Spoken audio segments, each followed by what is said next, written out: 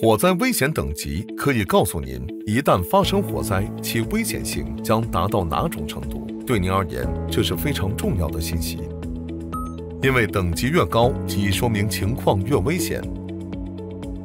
您应该根据危险等级来采取行动。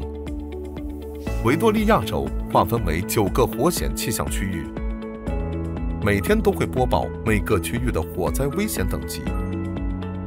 最多可以预报四天内的情况，最低的危险等级是中度危险。在此类气象条件下，大多数火情可以得到控制。下一个等级是高度危险。在此类气象条件下，火灾可能会比较危险，请时刻准备采取行动。最安全的方案是远离林火风险区域。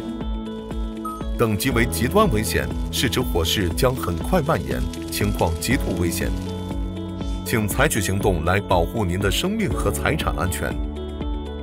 如有途经林火风险区域的出行计划，请三思。等级为灾难性危险，是指一旦起火并持续燃烧，就很可能会造成人员伤亡。遇到这种情况，应该离开林火风险区域。在此类气象条件下，房屋无法抵御火灾。若要保证安全，动身前往更安全的地方的时间应该是当天清晨或者前一天夜晚。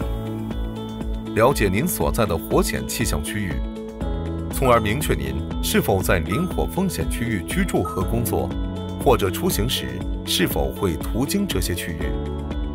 要养成每天都查看火灾危险等级的习惯。最安全的方案是在火灾尚未发生前，预留出绝对充分的时间，提早离开。请记得留意警报信息，随时关注最新动向。